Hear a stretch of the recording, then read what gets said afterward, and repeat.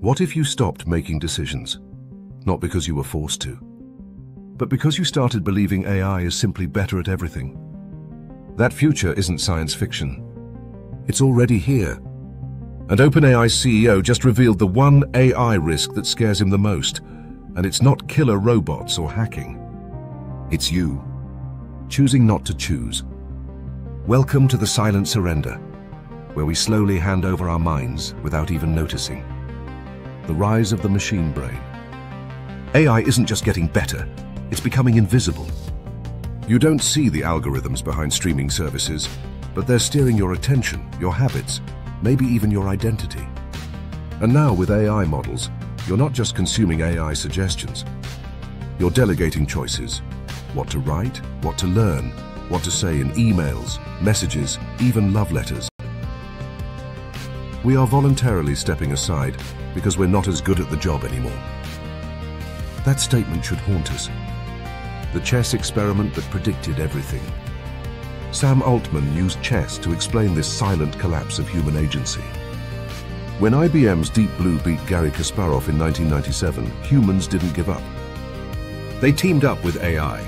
The best chess players were hybrids, human plus machine. But that golden era lasted only three months. After that, AI got so good that human interference actually reduced performance. Humans couldn't see the deeper patterns AI was catching. So they stopped contributing. And this wasn't just a chess match. It was a mirror, showing what happens when a system becomes too smart to question. What happens to the human brain when we stop choosing?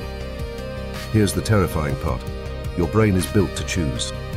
The prefrontal cortex, the part behind your forehead, lights up every time you weigh options, make plans, or resist impulses.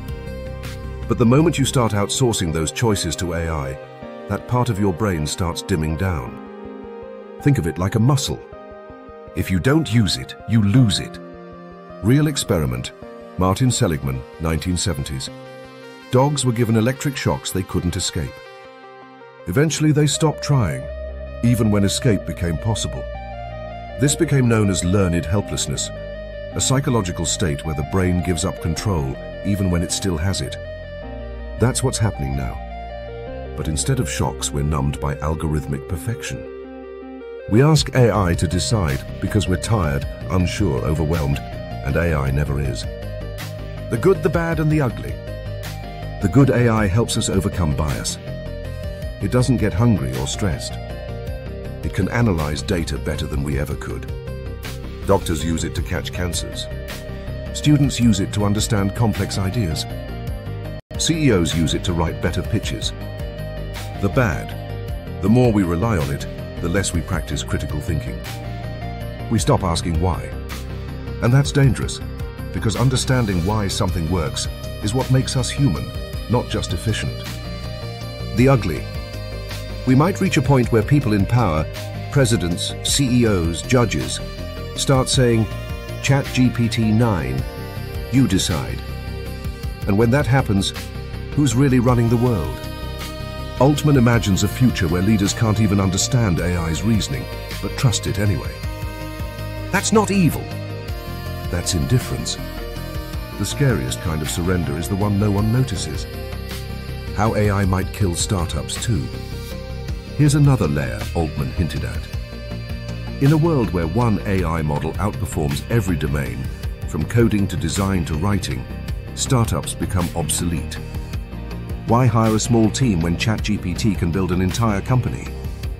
This might centralize power into the hands of a few and slowly dissolve the diversity of ideas, voices and risks that drive innovation. We won't need new entrepreneurs. The choice that still belongs to you. So what do we do?